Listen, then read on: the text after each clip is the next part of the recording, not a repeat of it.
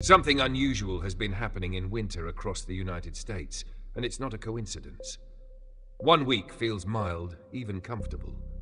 The next week, the temperature drops so fast it feels like the air has been stolen from your lungs. We're seeing roads freeze overnight, snowstorms appearing out of nowhere, and power grids pushed to the edge.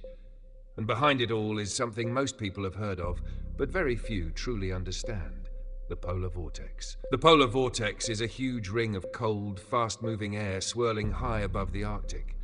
Normally, it stays locked in place, keeping the cold trapped near the North Pole. But recently, that system has been weakening. The Arctic is warming faster than anywhere else on Earth. Ice is melting, oceans are absorbing heat, and the atmosphere above the Arctic is changing. When that balance breaks, the polar vortex can wobble. Sometimes it splits apart. And when it breaks, that icy Arctic air spills south. This is why cities like Chicago, Minneapolis, and Cleveland suddenly experience temperatures colder than parts of Alaska. It's why the Northeast gets monster snowstorms that shut down travel for days. And it's why the Texas freeze in 2021 was so destructive. Homes, pipelines, and even the power grid were never built for that kind of cold.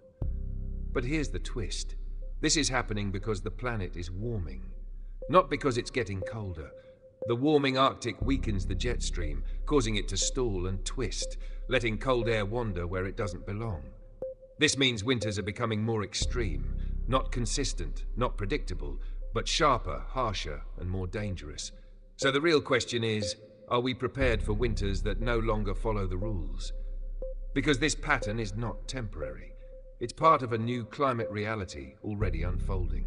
If you found this explanation interesting and want to understand why winter extremes are increasing and what may be coming next, make sure to follow the channel, like this video, share it, and watch the full video for the complete deep dive analysis.